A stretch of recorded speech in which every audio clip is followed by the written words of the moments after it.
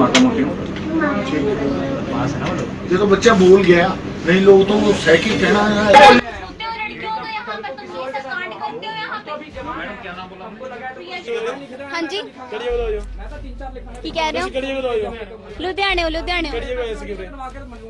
ਪਟਿਆਲਾ ਕਾਲੀ ਮਾਤਾ ਮੰਦਿਰ। ਮੈਂ 545 ਤੇ ਐਂਟਰ ਕੀਤਾ ਹੈ ਪਟਿਆਲਾ ਕਾਲੀ ਮਾਤਾ ਮੰਦਿਰ। ਮੈਂ ਜਿੱਦਾਂ ਹੀ ਮੰਦਿਰ ਦੇ ਮੁੱਖ ਦੁਆਰ ਤੇ ਪਹੁੰਚੀ ਹਾਂ ਇੱਕ ਰਿਪਰੈਜ਼ੈਂਟੇਟਿਵ ਨੇ ਇੱਥੇ ਮੇਰੇ ਨਾਲ ਬਹੁਤ ਰੂਡ ਬਿਹੇਵ ਕੀਤਾ ਫੋਨ ਕੱਢਣ ਤੇ। ਕੀ ਕਿਨੇ ਬਦਤਮੀਜੀ ਕਿਨੇ ਕੀਤੀ ਇਹ ਕੌਣ? ਹੈ? ਕਿੰਨੇ ਬਦਤਮੀਜ਼ੀ ਕੀਤੀ ਉਹਨਾਂ ਇਹ ਇੱਕ ਮੰਦਿਰ ਦੇ ਕਰਮਚਾਰੀ ਨੇ ਮੇਰੇ ਨਾਲ ਬਹੁਤ ਰੂਡ ਬਿਹੇਵ ਕੀਤਾ ਹੈ, ਮੈਨੂੰ ਉਹਦਾ ਨਾਮ ਨਹੀਂ ਪਤਾ, ਠੀਕ ਹੈ? ਤੇ ਮੈਂ ਚਾਹਨੀ ਹਾਂ ਕਿ ਪਲੀਜ਼ ਉਹ ਮੇਰੇ ਤੋਂ ਇੱਥੇ ਆਵੇ ਐਂਡ ਮੈਂ ਤੋਂ ਜੋ ਵੀ ਹੈ apologizing and all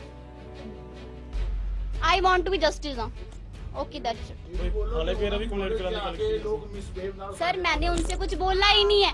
मैं तो सिर्फ़ ये चाहती हूँ कि उन्होंने मुझसे रूट बिहेव किया वो मुझे आके सॉरी बोले बस दैट्स इट मुझे किसी को पुलिस स्टेशन में नहीं घसीटना किसी को कहीं नहीं घसीटना।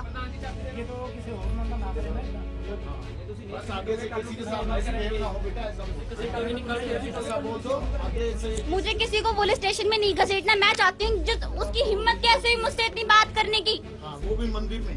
मैं उसको कोई कि मैं उसको की बहन लगी हूँ या फिर उसकी रिलेटिव लगी नहीं उसको कि भाई बहन को मैं उसको भगा लिया है कि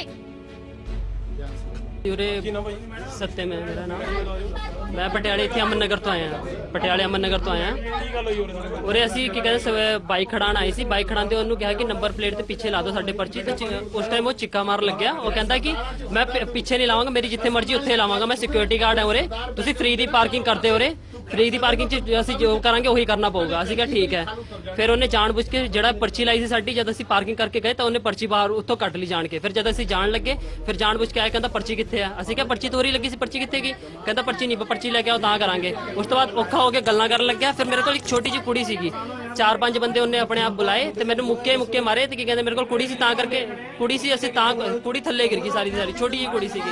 ਉਸ ਤੋਂ ਬਾਅਦ ਜਿਹੜਾ ਡੰਡਾ ਸੀਗਾ ਡੰਡੇ ਨਾਲ ਕੁੱਟਿਆ ਤੇ ਕੀ ਕਹਿੰਦੇ ਇੱਟਾਂ ਉੱਟਾਂ ਮੁੱਕੇ ਖੂਨ ਖੂਨ ਨਿਕਲਿਆ ਪਿਆ ਪੂਰਾ। ਅਪੈਕਸ ਵਾਲੇ ਤੇ ਕਾਰਵਾਈ ਹੋਣੀ ਚਾਹੀਦੀ ਜਿਹੜੇ ਇਹਨਾਂ ਦੇ ਸਿਰ ਚੜੇ ਪਏ ਨੇ ਸਭ ਤੋਂ ਜ਼ਿਆਦਾ। ਪੁਲਿਸ ਕੰਪਲੇਂਟ ਹਾਂ ਇਹਨਾਂ ਤੇ ਪੁਲਿਸ ਕੰਪਲੇਂਟ ਕਰਾਂਗਾ ਮੈਂ ਜਾ